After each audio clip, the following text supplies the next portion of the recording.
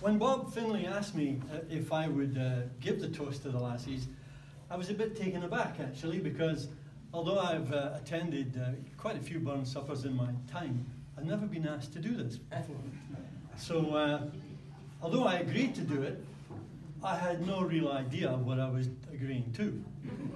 So, what one does when one doesn't know these days is you go on the web. So, I went on and checked uh, just exactly what am I supposed to be doing. Well, apparently, apparently, the object of this toast is to de deliver a speech about the importance of women in our lives, drawing reference to Burns, the women in his life, his attitude and views on women, and concluding with a complimentary um, and positive note. the challenge is to deliver a balanced, witty, and sincere toast. Well, no pressure there. so, Burns' first love was a, a, young lady called Nellie Kilpatrick. She was 14. She was, a, she was the daughter of a, local blacksmith. And Burns was 15.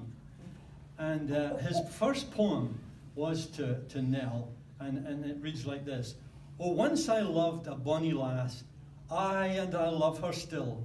And whilst that virtue warms my breast, I'll love my handsome Nell.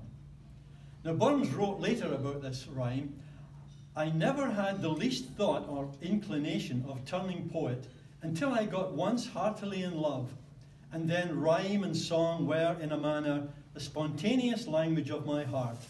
I remember I composed it in a wild enthusiasm of passion. and to this hour, I never recall it, but my heart melts and my blood sallies at the remembrance. So, were it not for the lassies in his life, Burns might never have been inspired to produce such a written legacy as he did. In writing this toast to the lassies, I couldn't help but notice the difference between the lads and the lassies. Now, not, not the obvious differences that, uh, that are so pleasing to the eye, but uh, more subtle differences, such as a successful man is one who makes more money than his wife can spend. A successful woman is one who can find such a man. Men believe that they have the last word in an argument, but actually women have the last word. Anything after that is the start of a new argument. a man has five items in the bathroom. A toothbrush, shaving cream, razor, a bar of soap, and a towel, probably from the Holiday Inn. The average number of items in a typical women's bathroom is 337, and a man can't identify any of them. And finally, children. A woman knows all about her children. She knows about dentist appointments, she knows about best friends and favourite foods and secret fears and hopes and dreams. A man is vaguely aware of little folk running around the house. but women are definitely caregivers, don't you think? I'm reminded about a story about old Sandy who was lying on his deathbed, and his wife Margaret was kneeling by his side, tenderly holding his hand. Can I get anything for you, Sandy? she said. No answer. So she tried again. Have you no last wish, Sandy? A faint reply came from the bed. A wee bit of that boiled ham would be nice. Whisht, man, you know I bought that for the funeral.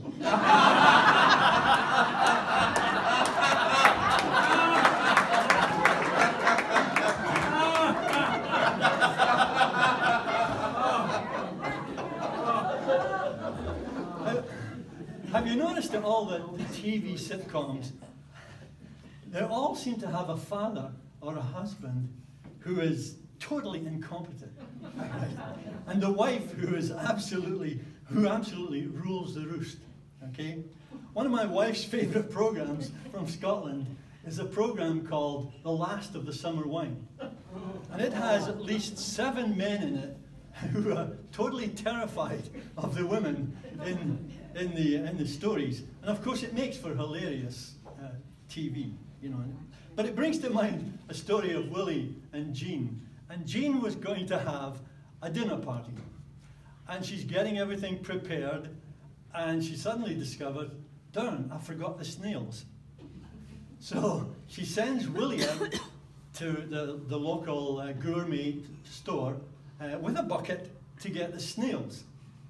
So off he goes, and he gets his nails, and this, as Willie is leaving the, the store, he runs into a bunch of his pals. And they're all on the way over to Charlie, Charlie's bachelor apartment to watch the big game on Charlie's new 60-inch TV. So Willie thinks, well, I could go and look just to see the new TV. So off he goes with the pals to watch the, the new TV. And while he's there, of course, he has a beer, only one, but one leads to two, and two leads to three. And before, before Willie knows where he is, he's lying on the sofa, blind drunk, uh, and sound asleep. After the game, Charlie decides to leave Willie to sleep it off. And he goes off to bed. So next morning, Willie wakens up realizes where he is and thinks, oh, the party, my snails.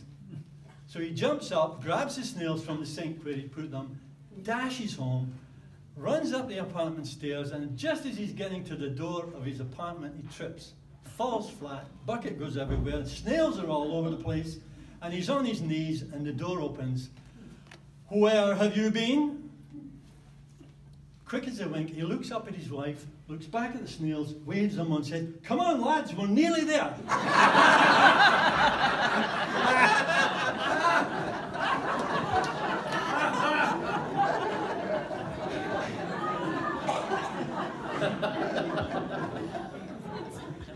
the, the great Robert Burns' relationship with women is a confusing one. Despite being incredibly promiscuous, it was not purely a physical uh, pleasure. Burns appeared to genuinely have adored women, and in his works he mentions by name a number of women, and his declaration of love are still some of the most famous ever written in English. But it was for Clarinda, or Mrs. McLehose, that he wrote the song much admired to this day that glorifies the power of love and tells us that grieving is the price to be paid for love.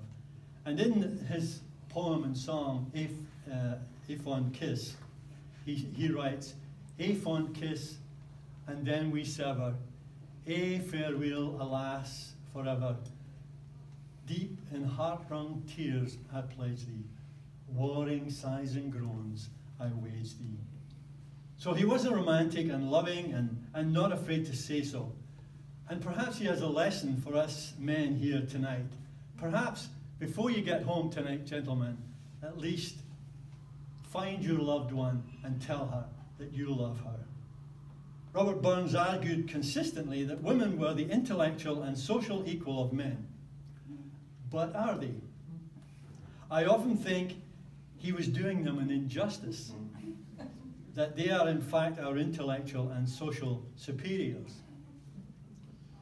Look at the relationship between men and dolphins. Dolphins are a bit like women, actually extremely intelligent, fun to be with, sleek, and can really move. it's absolutely incredible how dolphins, in only a few weeks, can train men to stand at the side of the pool and throw them fish. so I think, I think we can safely conclude that the lassies today are just as difficult to understand uh, to, for men as they ever were for Burns. And I'm happy to say every bit as lovely. Gentlemen, please will you rise and join me in a toast to the lassies. To the lassies. To the lassies.